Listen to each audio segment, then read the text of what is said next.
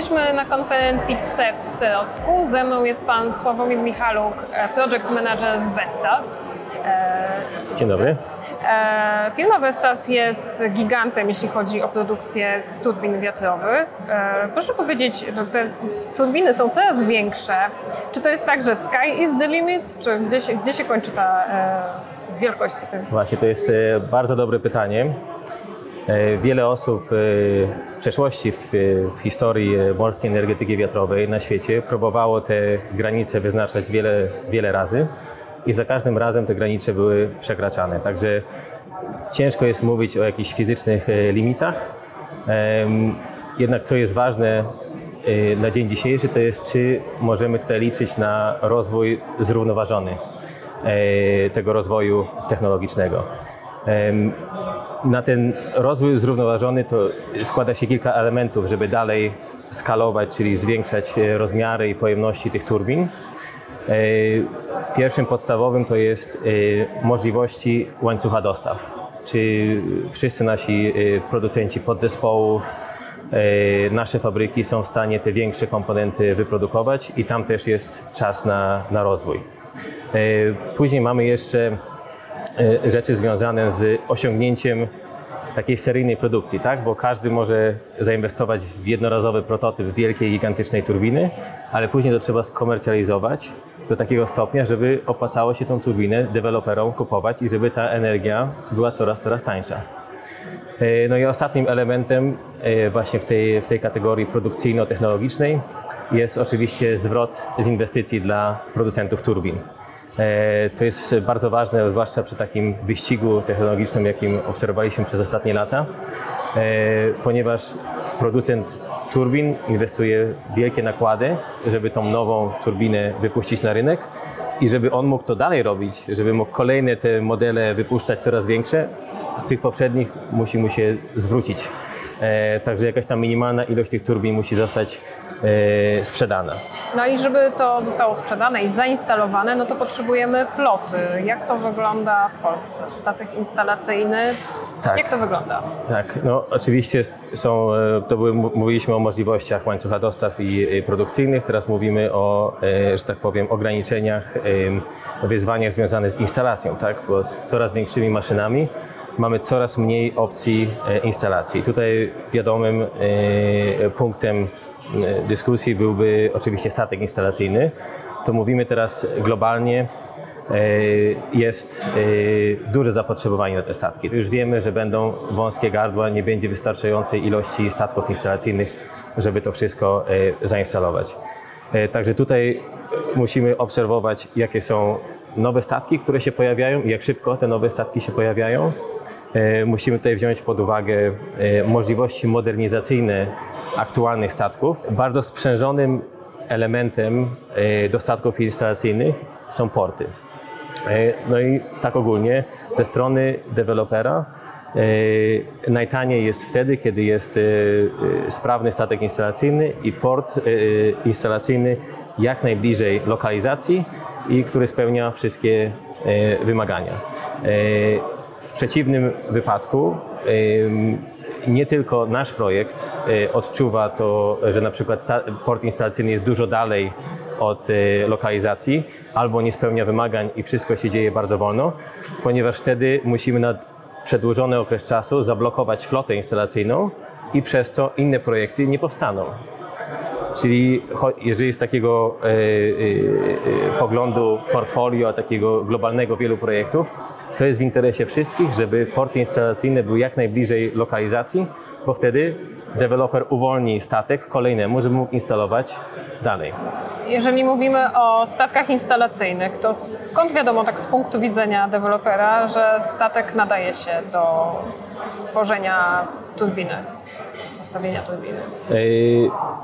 Kiedy rozwijamy projekt i jesteśmy w tym momencie wyboru statku instalacyjnego, e, mówimy tu praktycznie o dwóch głównych e, parametrach, które w ogóle nam pozwalają myśleć o zainstalowaniu e, turbiny na morzu. Pierwszym jest długość tych nóg statku instalacyjnego. Ta długość minimalna na dany projekt jest określana przez głębokość wody danego akwenu i analizy geotechnicznej dna morskiego, bo wtedy wiemy, ile ta noga się nam wbije w dno morza i żeby wystarczyło na wyniesienie tego statku na odpowiedni poziom, żeby móc zainstalować. Drugim parametrem takim krytycznym jest oczywiście para, są parametry dźwigu i jego wysięg,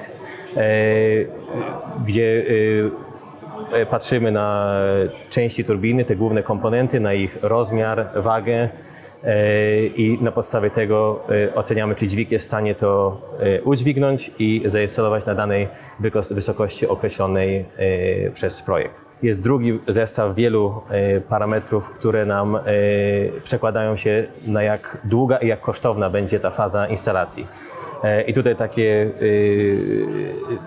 takie inne e, parametry, o których możemy mówić, to jest e, pojemność e, pokładu statku, bo im więcej zestawów turbin jesteśmy w stanie załadować na statek, tym mniej razy będziemy zawijać do portu na przeładunek i tym szybciej skończymy projekt. Oczywiście prędkość statku jest ważna, sprawność i prędkość tego systemu podnoszenia. Czy mamy lądowisko dla helikopterów, to bardzo usprawnia wymianę załogi, która następuje okresowo. I oczywiście bardzo ważnym parametrem jest głębokość zanurzenia. Każdy statek ma swoją wymaganą głębokość zanurzenia i to determinuje nam, do jakich portów jest w stanie wpłynąć i do jakich nie jest w stanie wpłynąć. To też jest ważne podczas wyboru tego, tego statku.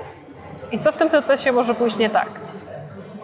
Tak, e, jeżeli chodzi o fazę instalacyjną i tematy związane z, ze statkiem instalacyjnym, e, możemy tu mówić o takich dwóch największych e, ryzykach, które, które spędzają sens powiek deweloperom. Pierwszym takim ryzykiem jest, kiedy okazuje się, że stan faktyczny dna morskiego jest gorszy niż oszacowany w fazie e, poprzedniej poprzez odwierty, analizy e, e, geotechniczne, jeżeli ten stan dna pod samymi nogami jest inny niż oszacowano. To może być albo wielkie utrudnienie podczas instalacji, czyli wydłużenie procesu instalacji w związku z tym, że przy gorszych warunkach geotechnicznych mamy dodatkowe obostrzenia operacyjne, czyli ten proces będzie trwał dużo dłużej. E, no i w najgorszym wypadku to może nam e, zamknąć projekt. Może się okazać, że ten dany statek nie jest w stanie zainstalować tych konkretnych lokalizacji na przewidzianych. Drugim takim ryzykiem, o którym warto powiedzieć, jest e, ryzyko harmonogramu. Bo jak wiecie, nie możemy zainstalować turbiny, jeżeli nie ma zainstalowanego fundamentu. Umowa z armatorem statku na konkretny okres instalacyjny wraz z terminem, z konkretną datą, kiedy ten statek musi uciekać na kolejny projekt, jest określany nawet 2-3 lata przed rozpoczęciem instalacji. I w tym momencie zarówno tutaj dostawcy turbin, e, jak i deweloperzy muszą mieć pewność, wystarczającą pewność, że do momentu e, e, rozpoczęcia instalacji turbin planowanego są w stanie zainstalować odpowiednią ilość fundamentów. E, jeżeli tam będzie jakaś e, poważna obsuwa przy projektowaniu, produkcji, transporcie, instalacji fundamentów, możemy się nie wyrobić w ograniczonym tym okresie instalacji, który nam mówi umowa, no i zostaniemy z niezainstalowanym projektem, to jest kolejna katastrofa i wtedy, tak jak poprzednio, musimy szukać nowego statku i przy takim zapotrzebowaniu to może być kwestia wielu miesięcy, kiedy cały projekt stoi. Chciałabym jeszcze zapytać o taką rzecz, która również elektryzuje, jeżeli mówimy o offshore y, na polskim Bałtyku, to znaczy pływające farmy wiatrowe. Jaka, jaki potencjał na właśnie polskim Bałtyku widzi Pan y, w, floating wind? Tak. E, jeżeli chodzi o fundamenty pływające, e, tutaj muszę powiedzieć, że na dzień dzisiejszy, właśnie z analiz technicznych i ekonomicznych, e, wychodzi na to, że nie ma uzasadnienia finansowego na wykorzystywanie e, technologii fundamentów pływających, kiedy mamy e, akweny o głębokości mniejsze niż 60-70 metrów. Tutaj są w zależności jeszcze od stanu geotechnicznego.